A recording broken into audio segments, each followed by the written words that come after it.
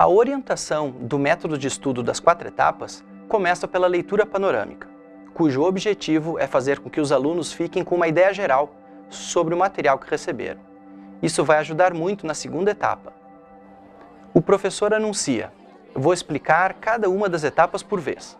A primeira delas é a leitura panorâmica, ou seja, uma leitura por cima do texto, bem rápida, apenas para ficar com uma ideia geral do que diz cada parágrafo. Eu vou dar um tempo curto para isso, só para que vocês leiam um pouco mais rápido do que o de costume. O tempo vai ser de apenas um minuto. Mas não se assustem, é só para ficar com uma ideia geral do texto. Então o professor diz: um, dois, três e começou.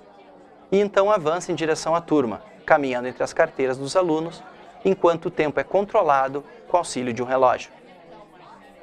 O tempo é controlado nessa primeira etapa por um motivo prático.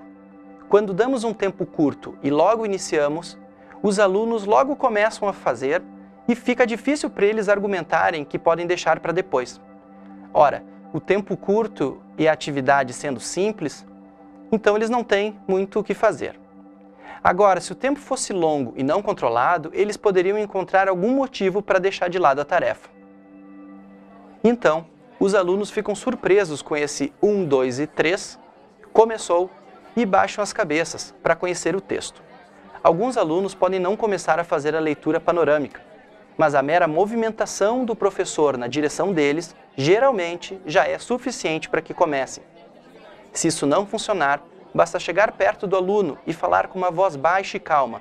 Vai ser rápido e fácil. E que é só ler por cima do texto, só isso. O contato visual acaba fazendo com que eles balancem a cabeça e parem para ler o texto.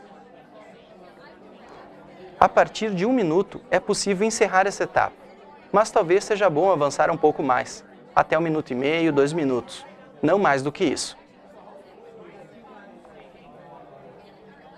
Finalmente, o professor se posiciona em frente à lousa e anuncia que o tempo acabou. Os alunos ficam meio nervosos porque muitos não chegaram ao fim do texto.